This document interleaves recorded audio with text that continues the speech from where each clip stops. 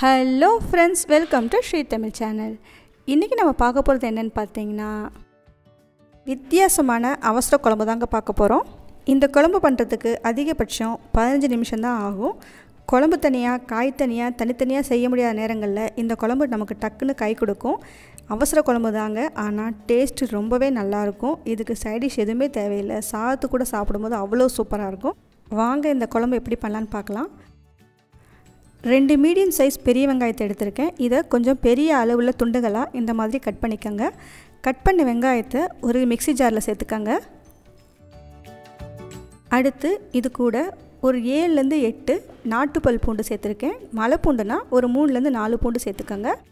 அடுத்து இதை ரெண்டையும் சேர்த்து இந்த மாதிரி குறை குறைன்னு இருக்கிற மாதிரி அரைச்சிக்கோங்க. ரொம்பவும் நைஸாக அரைச்சிடாதீங்க. இந்த அளவு இருந்தால் போதும். அடுத்து நாம் ஒரு பேனில் கொஞ்சமாக எண்ணெயை சூடு பண்ணிக்கலாம். எண்ணெய் சூடானதும் ஒரு சின்ன துண்டு பட்டை ரெண்டு கிராம்பு போட்டு சேர்த்து தாளிச்சிக்கோங்க. பட்டையும் கிராம்பும் பொரிஞ்சதும் அரைச்சி வச்ச பேஸ்ட்டை நாம் இப்போ சேர்த்துக்கலாம்.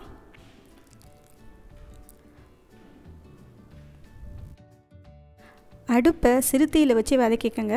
அடுத்து ஒரு ரெண்டு பச்சை மிளகாயை கீரி சேர்த்துக்கோங்க.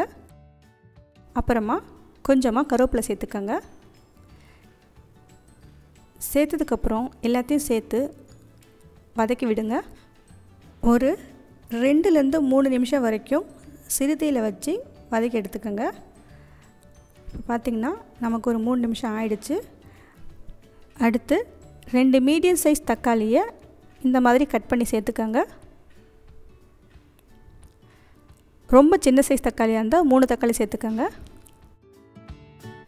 அடுத்து ஒரு கால் ஸ்பூன் மஞ்சத்தூள் சேர்த்துக்கோங்க. மஞ்சத்தூள் சேர்த்ததுக்கப்புறம் அடுப்பை சிறுத்தையில் வச்சு தக்காளி நல்லா வதங்கி கரைஞ்சி வர வரைக்கும் வதக்கி எடுத்துக்கோங்க. தக்காளி வதங்கிட்டு இருக்கும்போது ரொம்ப ரொம்ப கொஞ்சமாக சோம்பை தட்டி எடுத்து சேர்த்துக்கோங்க. இந்த சமயத்தில் சோம்பு சேர்த்திங்கன்னா குழம்பு நல்லா வாசனையாக நல்லாயிருக்கும் அதனால தான் இந்த சமயத்தில் சேர்க்குறோம். ஒரு பத்து சோம்பு சேர்த்தா போதும் அதுக்கு மேலே சேர்க்கக்கூடாது. சோம்பு சேர்த்ததுக்கப்புறம் தக்காளி நல்லா கரையிற வரைக்கும் வதக்கி எடுத்துக்கோங்க. தக்காளி வதக்கும் போது கரண்டியை வச்சு தக்காளி நசுக்கக்கூடாது. வதக்கும்போது அதுவாக கரைஞ்சி வரணும். அடுத்து தக்காளி ஓரளவுக்கு வதங்கினதுக்கப்புறம் ஒரு ஸ்பூன் தனி மிளகாய்த்தூள் சேர்த்துக்கோங்க. மிளகாய்த்தூள் சேர்த்ததுக்கப்புறம் திரும்பவும் ஒரு ஒரு நிமிஷம் நல்லா வதக்கி விடுங்க. ஒரு நிமிஷம் நல்லா வதக்கி விட்ட பிறகு ரெண்டு மீடியம் சைஸ் உருளைக்கிழங்க இந்த மாதிரி தோல் சீவிட்டு நறுக்கி சேர்த்துக்கோங்க. சேர்த்ததுக்கப்புறம் திரும்பவும் இந்த உருளைக்கிழங்கு ஒரு ரெண்டு நிமிஷம் நல்லா வதக்கி விடுங்க. ரெண்டு நிமிஷத்துக்கு அடுப்பை சிறுத்தையில் வச்சு நல்லா வதக்கி எடுத்துக்கோங்க. ஒரு ரெண்டு நிமிஷம் வதக்கினதுக்கப்புறம் ஒரு மூணு டேபிள் ஸ்பூன் தேங்காய் துருவலை கொஞ்சம் கெட்டியாக அரைச்சி சேர்த்துக்கலாம். ரொம்ப தண்ணியாக அரைச்சிடாதீங்க. தேங்காய் சேர்த்ததுக்கப்புறம் திரும்பவும் ஒரு ரெண்டுலேருந்து மூணு நிமிஷம் வரைக்கும் நல்லா வதக்கி எடுத்துக்கோங்க. இந்த சமயத்தில் கண்டிப்பாக வதக்குனா தான் குழம்பு டேஸ்ட் நல்லாயிருக்கும் அதனால் தேங்காய் சேர்த்ததுக்கப்புறம் ஒரு மூணு நிமிஷம் வரைக்கும் அடுப்பை சிறுத்தையில் வச்சு வதக்கி எடுத்துக்கோங்க. குழம்பு ரெண்டு நிமிஷம் வதங்கினதுக்கப்புறம் ஒரு ரெண்டு கப் தண்ணி சேர்த்துக்கோங்க. இந்த குழம்பு ரொம்பவும் தண்ணியாக இருந்தால் நல்லா இருக்காது.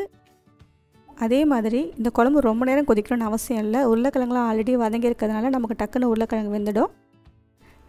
இப்போ நாம் தேவையான அளவு உப்பு சேர்த்துக்கலாம். உப்பு சேர்த்ததுக்கப்புறம் அடுப்பை மீடியம் ஃப்ளேமில் வச்சு ஒரு அஞ்சுலேருந்து எட்டு நிமிஷம் வரைக்கும் குழம்பு நல்லா கொதிக்க விடுங்க. கொஞ்சம் நேரத்தில் பார்த்திங்கன்னா குழம்புல நல்லா எண்ணெய் பிரிஞ்சு இந்த மாதிரி மேலே நல்லா மிதந்து வரும். அந்த சமயத்தில் நாம் மல்லித்தலை தூவி ஸ்டவ்வை ஆஃப் பண்ணிடலாம். அவ்வளோதாங்க ரொம்ப ரொம்ப சிம்பிளாக செய்யக்கூடிய ரொம்ப கொஞ்சம் காரசாரமான அவசர குழம்பு நமக்கு ரெடி ஆகிடுச்சு இது சாதத்தோடு சாப்பிடும்போது அவ்வளோ நல்லாயிருக்கும் இதை நீங்கள் வீட்டில் செஞ்சு பார்த்துட்டு எப்படி இருக்குன்னு சொல்லுங்கள். தேங்க்ஸ் ஃபார் வாட்சிங்